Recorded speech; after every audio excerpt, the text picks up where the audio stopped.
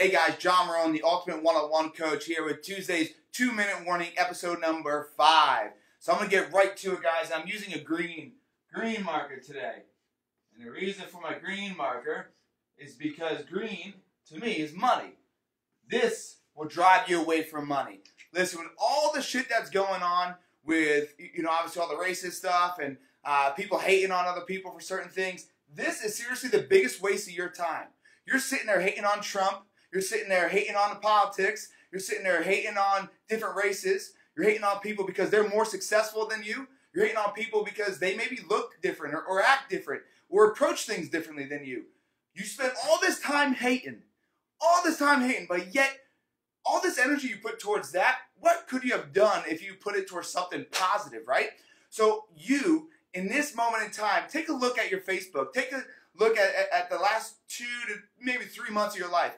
How much time was spent hating on people, things, actions?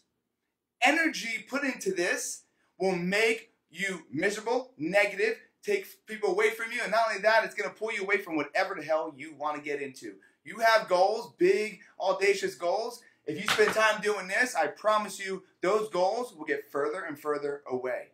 Guys, if you hate on Trump and you hate on what's going on in government, that's fine, the energy you put towards it is not going to make a damn difference. Right? You're hating different races, you're hating races for hating different races. Enough with the bullshit. Enough. You're hating people because they're more successful than you. You're hating on people because they're trying to do things better in their life and you're too afraid to. Guys, stop hating on everything in your life. Seriously, eliminate the hate, right? It's insane how much time you do doing this versus helping other people. Stop right now. Ask yourself this one question. In the past three months, have I spent more time hating on things in life versus bettering people?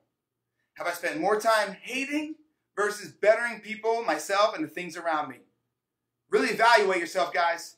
This shit right here ends now. I promise you. You want to reach your goals? You want to get to the highest standard and the best quality of life you can?